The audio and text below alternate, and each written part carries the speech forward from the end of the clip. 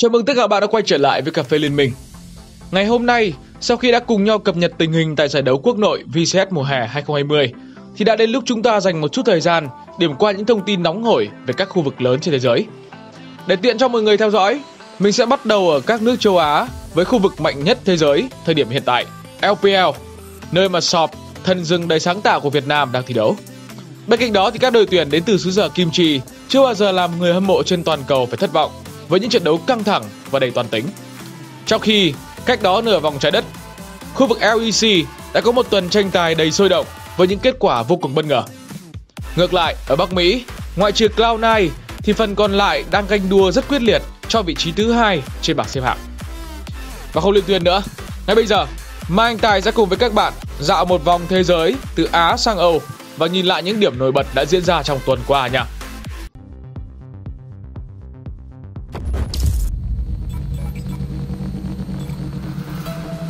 Nếu các bạn đang hóng tựa game Liên minh Mobile, tốc chiến thì đừng quên subscribe cho kênh mới của tụi mình nha. Link bên dưới phần mô tả đây ạ. Thứ nhất, Top Esports duy trì thế thống trị ở LPL. Điểm đến đầu tiên của chúng ta sẽ là đất nước tỷ dân Trung Quốc. Ở tuần thi đấu thứ tư, ngoại trừ ngôi đầu thì thứ tự các nhóm giữa bảng xếp hạng đã có thay đổi một cách chóng mặt, khiến các đội tuyển phải đau đầu để toán tính, chiến thuật sao cho hợp lý và đảm bảo được thể lực cho các tuyển thủ của mình. Bởi lẽ FPL sẽ diễn ra xuyên suốt tất cả các ngày trong tuần. Rõ ràng, mặc dù biết là hơi sớm, tuy nhiên ngay từ thời điểm này, rất nhiều người hâm mộ đã bắt đầu nghĩ đến viễn cảnh Top Esports sẽ trở thành nhà vô địch của LPL mùa hè 2020. Nhận định này xuất phát từ lối chơi và phong độ hủy diệt của đội tuyển đang sở hữu những tuyển thủ xuất sắc như là Nai, Kasa hay Jackie Love. Thật vậy, trong trận đấu được đánh giá rất khó khăn với Edward Gaming, Top Esports đã lội ngược dòng thành công nhờ sự tỏa sáng của Nai và hỗ trợ Yuya Ninja. Cụ thể thì trong ván đấu đầu tiên, Top Esports đã lội ngược dòng thành công nhờ sự tỏa sáng của Nai và hỗ trợ Yuyan Zia. Cụ thể trong ván đấu đầu tiên, người đi đường trên 369 liên tục bị đối phương khai thác và nằm xuống hai lần trong giai đoạn đầu. Mặc dù vậy thì khả năng farm tốt từ hai chủ lực giúp Top Esports giữ được thế trận cân bằng.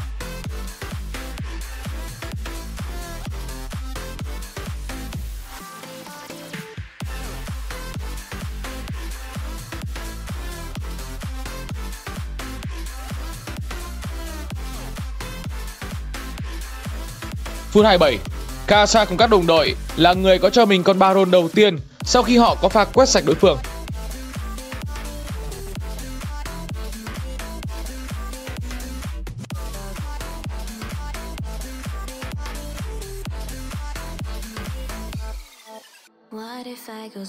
Thế nhưng pha giao tranh sai lầm ở hang rồng đã cướp đi của top esports tất cả.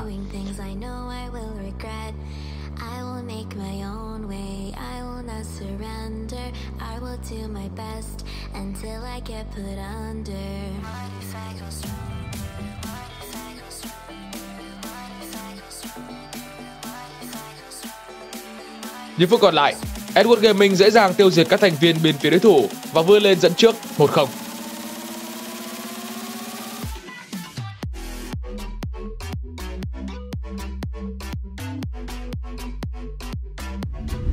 Nhưng bị chạm vào lòng tự ái, Top Esports đã thi đấu bùng nổ trong vòng đấu thứ hai, đặc biệt là những cú xoáy Oriana của Knight. Tuyển thủ đường giữa của Top Esports đã có giai đoạn đi đường rất tốt trước khi là người tạo ra những tình huống đột biến trong giao tranh. Chưa dừng lại ở đó, nhà vô địch Mid-Season Cup còn sở hữu linh hồn rồng gió và có pha giao tranh cực tốt ở phút thứ 31 để quét sạch Edward Gaming trước khi phá hủy nhà chính của đối thủ, qua đó cân bằng tỷ số một đều.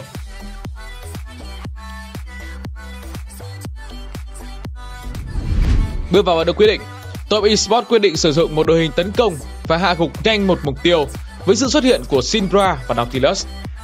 Ngược lại, Edward Gaming không có nhiều vị tướng có khả năng chống chịu tốt và đó là mồi ngon cho những cú kéo của Yujaniza. Phút thứ 30, pha kéo và dùng chiêu cuối hất tung chính xác của hỗ trợ Top Esports đã giúp đội tuyển này có lợi thế trong giao tranh trước khi có tình huống quét sạch ngay sau đó.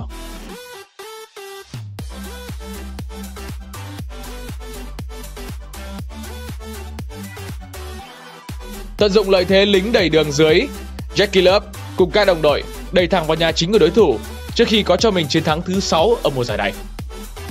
Ở một diễn biến khác, trong trận đấu tâm điểm giữa hai nhà vô địch thế giới gần nhất, Invictus Gaming đã giành chiến thắng 2-1 trước FunPlus Phoenix.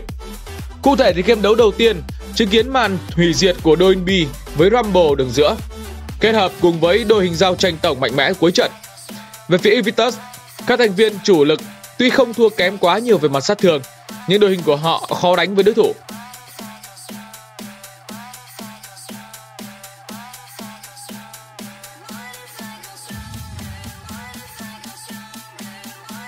Sau khi để thua ván 1, Invictus không còn đường lùi và bắt đầu tung ra những con bài mạnh nhất. Họ lấy Kalista cho giật Sai, khiến Mordekaiser trong tay Khan vô cùng khổ sở. Từ đó những tình huống di chuyển ép mục tiêu của Invictus trở nên dễ dàng nhờ sức mạnh của Kalista. Trong khi các thành viên FunPlus Phoenix bị thua thiệt hoàn toàn.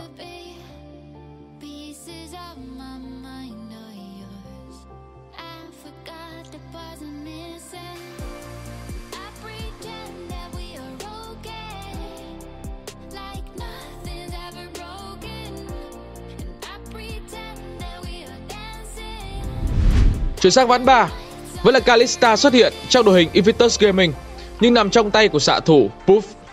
The Sai quyết định lấy Rumble đường trên nhằm mục đích phục vụ giao tranh về cuối, nhưng lại liên tục hứng chịu các đợt gạch. Thậm chí bị Renekton trong tay Khan solo kill. Tuy nhiên ý đồ của Invictus Gaming vẫn được thực hiện nhờ combo Javan 4, Oriana và Rumble được triển khai một cách hoàn hảo. Khởi đầu bóng pha cướp dòng ngoạn mục của Ninh ở phút thứ 22 sau đó là pha dịch chuyển phản công của The Sai đã chấm dứt mọi hy vọng của FunPlus Phoenix. Kết quả chung cuộc, Invictus vượt qua FunPlus Phoenix và tiếp tục cạnh tranh cho một vị trí thuận lợi trong nhóm đầu.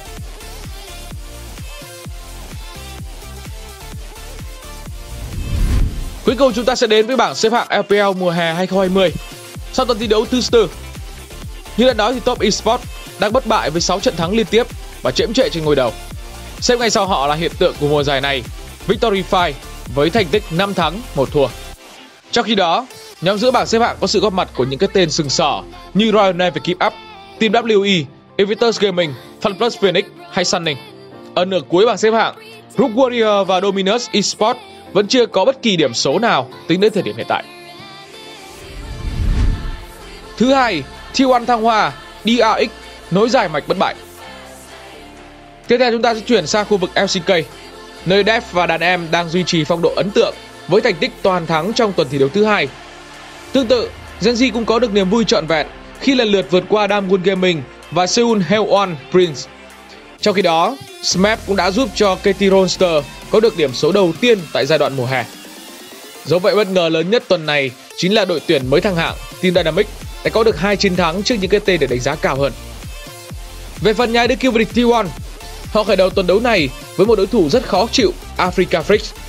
Như thường lệ thì bộ phim truyền hình dài tập mang tên Đầu mùa loạn trọng được sản xuất và dàn dựng bởi chủ tịch Lee và các đồng đội.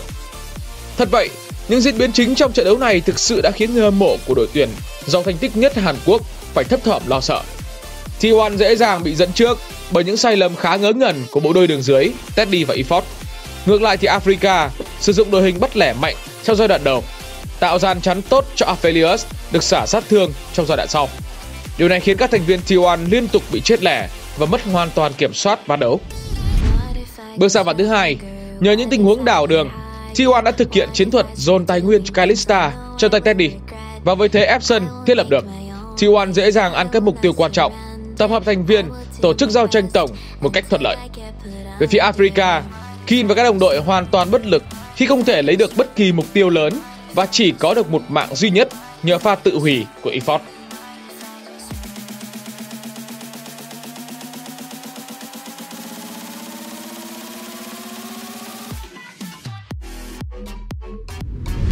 Chuyển sang ván đấu quyết định, T1 là đội nắm được lợi thế nhờ những pha ganh đường giữa và đường dưới hiệu quả. Với ngưỡng sức mạnh chênh lệch, đặc biệt là ở vị trí đường giữa, T1 hoàn toàn chủ động trong các pha giao tranh, đẩy đối thủ vào thế phòng ngự Nỗ lực cuối trận của Africa Freaks chỉ giúp họ kéo dài trận đấu khi mà những bùa lợi quan trọng nhất bản đồ đều đã bị T1 kiểm soát một cách chặt chẽ. Trung cuộc thì Faker và các đồng đội nhọc nhằn vượt qua Africa. Nhờ sự hưng phấn có được sau chiến thắng này mà T1 đã khép lại tuần thi đấu thứ hai với một thắng lợi dễ dàng chưa sàn bao kỳ mình. Cũng phải nói thêm rằng, việc T1 có những trận đấu như mơ ngủ ở giai đoạn vòng bảng, đặc biệt là trong giai đoạn đầu mùa giải, đã không còn là chuyện lạ lẫm nữa. Chính vì vậy, dù đã vươn lên dẫn trước, nhưng Africa vẫn tỏ ra khá thận trọng trong những ván đấu sau đó. Thất bại trong ván 1 chủ yếu đến từ những tình huống di chuyển lỗi của Efort và Teddy. Tuy nhiên khi bộ đôi này đã bắt đầu lấy lại sự tập trung, thì Africa Fridge mới cảm nhận được thế nào là cơn ác mộng. T1 đáp trả bằng màn hủy diệt ở ván đấu thứ hai và suýt chút nữa có được ván thắng hoàn hảo nếu như Efort không tanh trụ quá đà trong những phút cuối game. Bước sang ván 3, đến lượt đội trưởng Faker lên tiếng với màn trình diễn Azir đạt điểm S.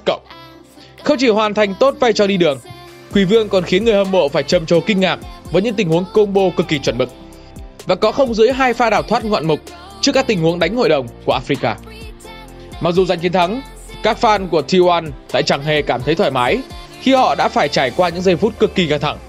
Thậm chí người hâm mộ Hàn Quốc còn tỏ ra đồng tình với quan điểm rằng nếu LCK áp dụng thể thức thi đấu BO1 như LEC hay LCS thì giờ đây T1 đã nằm trong nhóm đua chủ hạng bởi truyền thống thích ngược dòng và chấp đối phương một ván của họ. Cuối cùng chúng ta hãy cùng đến với bảng xếp hạng LCK mùa hè 2020 sau 2 tuần thi đấu. Như đã nói thì ở trên, DRX tiếp tục nối dài mạch bất bại với 4 chiến thắng liên tiếp và hiệu số dương nằm. Xếp ngay sau đoàn quân của CV Max lần lượt là Damwon Gaming, T-Dynamic, Genji và T1 với khoảng cách đúng bằng một trận thắng. Ở nhóm cuối bảng xếp hạng, Sandbox Gaming và Hawala Esports đang ngụp lặn trong khủng hoảng khi chưa có bất kỳ một điểm số nào. Thứ ba, các ông lớn phương Tây có màn trình diễn trái ngược nhau. Chuyển sang những diễn biến mới nhất của tại LCS và LEC. Ở khu vực Bắc Mỹ, Cloud9 đang cho thấy phong độ hủy diệt khi chưa thua bất kỳ ván đấu nào trong 3 tuần thi đấu. Trong khi đó thì vị trí thứ hai đang được san sẻ cho những cái tên như là CLG, Evin Team Liquid, TSM, FlyQuest. Ở vị trí cuối bảng xếp hạng, Dinistat đang đội sổ khi chưa có được điểm số nào. Trái ngược lại với Cloud9 thì ở LEC, cả Fnatic và Zichu đang phải gặp rất nhiều vấn đề khi đều đón nhận những thất bại khó hiểu trước các đối thủ được đánh giá yếu hơn. Tuy nhiên cuộc đối đầu giữa hai đội ở tuần thi đấu vừa qua vẫn rất đáng xem.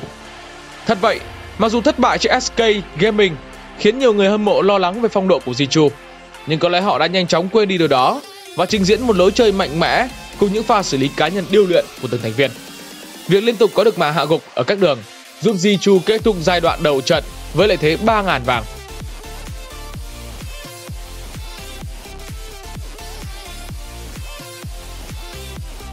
Điểm nhấn tiếp theo của trận đấu ở phút thứ 19 khi Perth một lần nữa chứng minh mình chơi xạ thủ tốt như thế nào bằng tình huống quadra kill, quét sạch Fnatic và nới rộng cách biệt. Từ đó thắng lợi quan trọng trên đối thủ không đội trời chung. Bên cạnh đó thì Wonder, Cap và Mikit cũng đã có màn trình diễn xuất sắc sau trận đấu này và được đề cử trong danh sách MVP của trận đấu. Tuy nhiên Cap chính là người vinh dự nhận được danh hiệu này với 59,3% được bình chọn. Với chiến thắng này thì Zichu tạm thời xếp ở vị trí thứ ba trên bảng xếp hạng cùng với Misfit, Oregon và SK Gaming. Xếp trên họ lần lượt là Rook và Mad Lion. Trong khi Fnatic đang thực sự khủng hoảng với trận thua thứ tư liên tiếp. Và vừa rồi là toàn bộ những chuyển động của Liên minh huyền thoại ở các giải đấu lớn trên thế giới trong một tuần qua. Nhìn tổng thể màn trình diễn của các đội tuyển top team một lần nữa chứng minh tại sao Liên minh huyền thoại là một trong những bộ môn esports hấp dẫn nhất hành tinh. Chính vì vậy, đây chắc chắn sẽ là một trong những mùa giải khốc liệt và hứa hẹn còn những trận đấu căng thẳng và kịch tính trong những tuần thi đấu tiếp theo. Cuối cùng, cảm ơn các bạn đã theo dõi video của Cà phê Liên minh. Nút đăng ký luôn luôn hiển thị bên dưới video và một cái chạm nhẹ sẽ là động lực để ekip sản xuất thêm nhiều nội dung hấp dẫn hơn. Ngoài ra thì nếu các bạn có suy nghĩ gì thì hãy để lại ý kiến cá nhân cho Cà phê Liên minh được biết. Và đừng quên like, share và subscribe. Xin chào và hẹn gặp lại các bạn ở những video tiếp theo.